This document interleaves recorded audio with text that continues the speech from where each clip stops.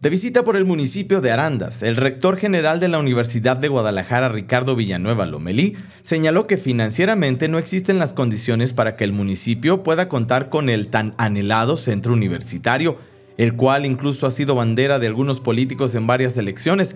Sin embargo, a decir del rector, esto aún no sería posible, pese a que el municipio cuente desde hace años con un terreno donado a la UDG para tal fin. Presidenta municipal me decía de ese anhelo que tienen de tener eh, educación superior en Arandas. Tenemos un terreno de cuatro hectáreas ya en este municipio, ya está el terreno eh, y bueno, cuando el presupuesto lo permita, eh, yo espero que, pronto puedan tener algunas licenciaturas, en, a lo mejor como algún módulo ya sea de Tepatitlán, pero, pero bueno, en estos momentos lamentablemente mi administración financieramente no hemos podido llegar a un proyecto aquí, pero estoy seguro que algún día Arandas tendrá una sede de, un centro universitario.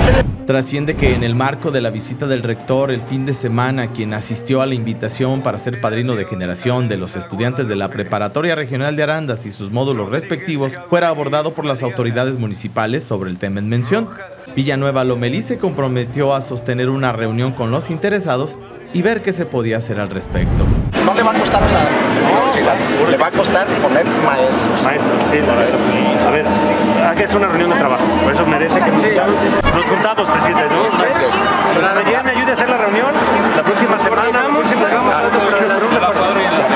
Chicho me ayude a hacerla, ¿no? Presidenta. Gracias. En otros temas, Ricardo Villanueva descartó buscar algún puesto político en las próximas elecciones del 2024 pero no negó que pudiera participar más adelante en futuras contiendas. Yo espero que no. Este, no, sí, pero no, no, no en esta elección. Yo, yo, yo, yo realmente creo que la universidad está pasando un momento complicado.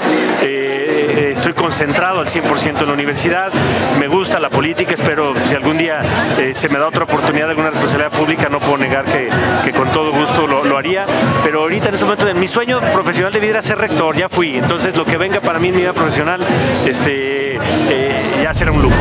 Rafael Hermosillo, cuarto de guerra.